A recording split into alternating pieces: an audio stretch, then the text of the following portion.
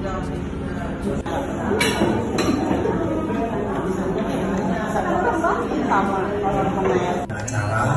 yang offline tatap muka hybrid, jadi sistemnya hybrid tatap muka dengan online. Kami Oktober lalu selamat pagi salam sejahtera untuk semuanya.